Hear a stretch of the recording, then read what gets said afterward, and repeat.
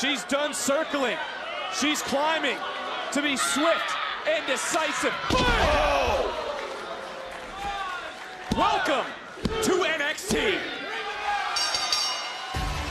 What a win. Here is your winner, Lyra Bell.